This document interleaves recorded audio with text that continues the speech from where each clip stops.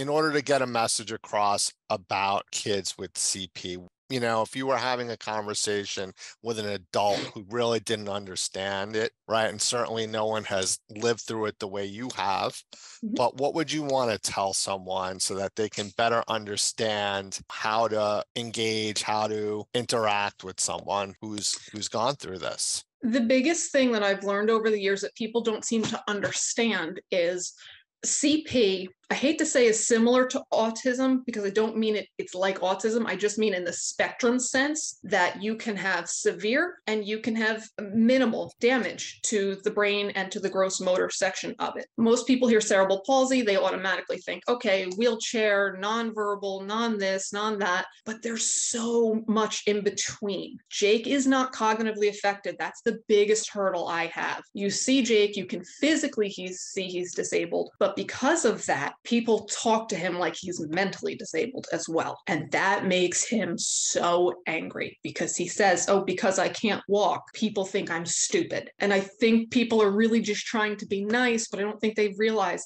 a lot of these kids might be cognitively affected somewhat, but for many of them, it is just a gross motor or it is just a fine motor. Talk to them like you would another 10 year old and kind of gauge it from there on the conversation you could go to. But talk to that child on that child's age level, not what you think their brain level can handle. No, that's, that's a great perspective and really appreciate that. Thank you so much for sharing that, Shannon.